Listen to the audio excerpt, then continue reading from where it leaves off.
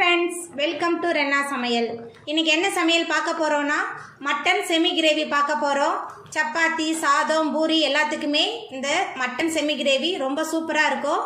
வீட்டில் உள்ள பொருட்களை வச்சு வீட்டில் உள்ள மசாலாவும் வச்சு ரொம்ப எளிமையான முறையில் இந்த மட்டன் செமி கிரேவியை செஞ்சு முடிச்சிடலாம்.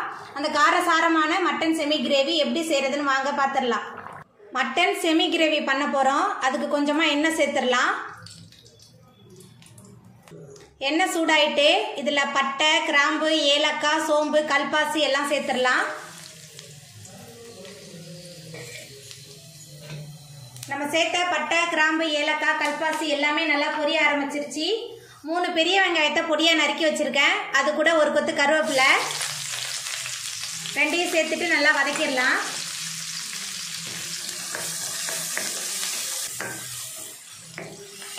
இப்போ வெங்காயத்தோடையே ரெண்டு தக்காளி பழத்தை பொடியாக நறுக்கி வச்சுருக்கேன். அதையும் சேர்த்துடலாம்.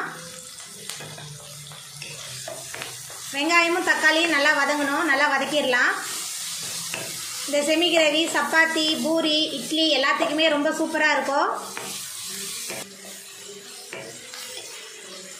இப்போ இதில் பதினஞ்சு போல் வெள்ளைப்பூண்டை உரித்து வச்சுருக்கேன். முழுசாக நறுக்காமல் அதையும் சேர்த்துடலாம். இந்த மட்டன் செமி கிரேவிக்கு இது ரொம்ப ருசியை கொடுக்கும். நம்ம மட்டனோட சேர்த்து இந்த பூண்டையும் சாப்பிடும்போது நல்லா இருக்கும். பொதுவாகவே நான்வெஜ்ஜுக்கு நம்ம வெங்காயம் தக்காளி எந்த அளவுக்கு நல்லா வதக்குறோமோ அந்த அளவுக்கு தான் நம்மளோட மட்டனோ சிக்கனோ சுவை அதிகமாக இருக்கும். நல்லா வதங்கணும். வெங்காயம் தக்காளி பூண்டு எல்லாம் ஓரளவுக்கு நல்லா வதங்கிட்டு இருக்கு. இப்போ இதில் இஞ்சி பூண்டு விழுது சேர்த்துடலாம். இஞ்சி பூண்டு விழுதையும் சேர்த்துட்டு இந்த வெங்காயம் தக்காளியோட சேர்த்து நல்லா வதக்கிடலாம். வெங்காயம் தக்காளி நல்லா வதங்கி இஞ்சி பூண்டோட பச்சை வாசனையெல்லாம் போகணும். நல்லா வதக்கிடலாம்.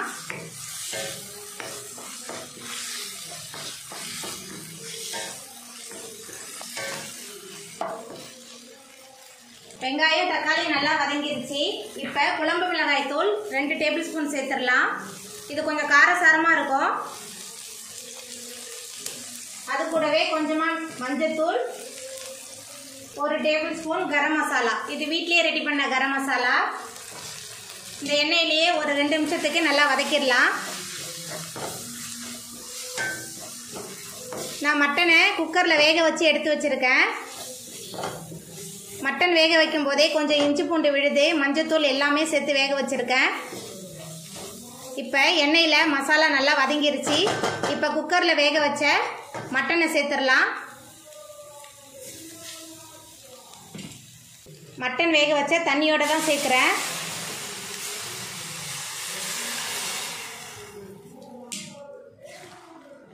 நல்லா கலந்து விட்டுடலாம்.